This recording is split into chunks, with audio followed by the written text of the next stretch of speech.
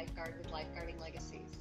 So in this series of videos, I'm answering some of the common questions that I receive in, as an estate planning attorney. And this question is, what does a trust do? So first, a trust will do everything that a will can do. It'll provide guardianship for your children, care of your pets, and distribution of your belongings. But it also does much more. Let me back up just a little bit and describe the trust itself. It's called a revocable living trust. Revocable meaning you can change it during your lifetime. Living meaning that it doesn't die. It will live up to 500 years in Arizona or until it's done everything that we put in that it should do. So a trust, um, because it's living, it doesn't end up in a probate court as long as nothing is left in your name at the time you die, as long as everything is in the trust. Um, the trust itself is a means of bypassing probate court. That, of course, means that everything is kept private because there's not a will to file that's of public record.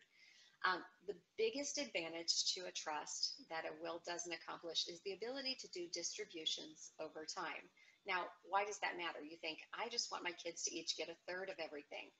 Okay, so let's say you have a, a million dollar estate.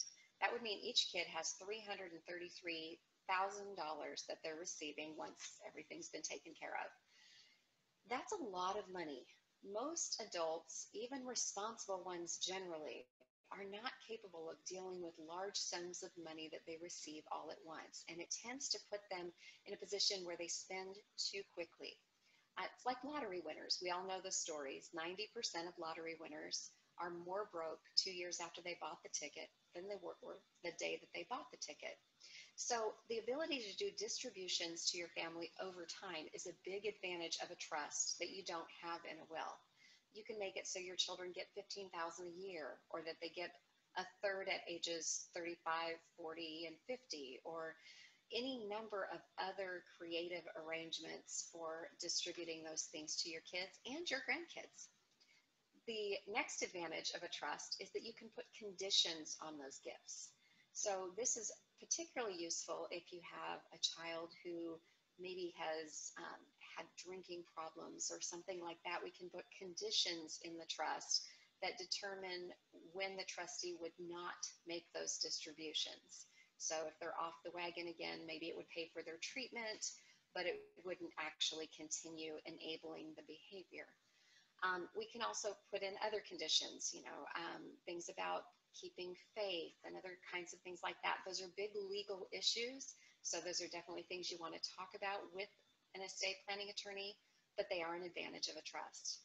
I jokingly tell my clients that if you want to put in a trust that your your children have to hula hoop 30 minutes a day, as long as a trustee will supervise that 30 minutes of hula hooping, you can put it in there. It's it's a trust. We can be very creative with these documents as long as it's something reasonable to be reasonable condition. Um, all right, the next one uh, that's kind of an extra bonus of a trust is what I call stupidity insurance. Now, that certainly isn't its real legal name, but it's legal protection for your children from things like divorce and creditors and lawsuits. As long as they're not the ones holding the strings as the trustee um, and someone else is the one that's sending out their distributions, um, they're protected. So if they're sued, they could have their mortgage paid, their car payments paid, their bills paid without anything attaching in a bank account that would be available to the lawsuit. Now that's important. It was your money you raised. It really isn't theirs, even though it's their inheritance. Um, it was your money, and so why should that be attachable in their lawsuit? And so the trust allows that to be protected. It's kind of wonderful. Um, it's important to understand the roles of a trust. There are three roles. There's the grantor, that's the one that sets it up. There's the beneficiary, that's the one that benefits from it, usually your children and grandchildren, maybe other family members. And there's the trustee, and that's the one that manages it.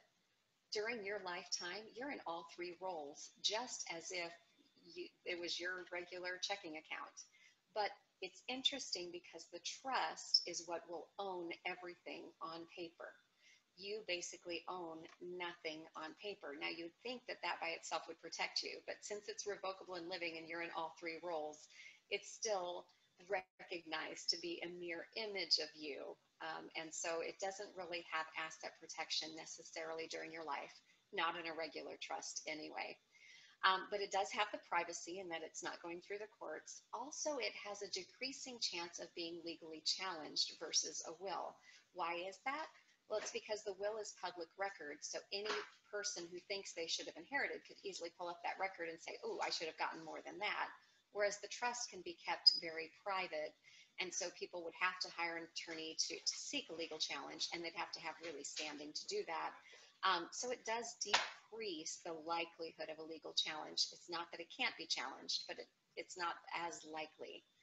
And as I stated, pretty much it's, it's a very flexible vehicle to accomplish what you want it to accomplish. So, what does a will do?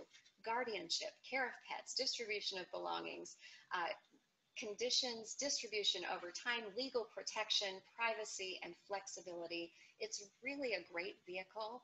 It is not needed for every single person, but it is, it is a wonderful legal vehicle to protect your family. So I hope that answered your questions about it, what a trust can do. I'm your estate planning attorney, Heidi Thompson with Lifeguarding Legacies. You can reach me at 602 529 1827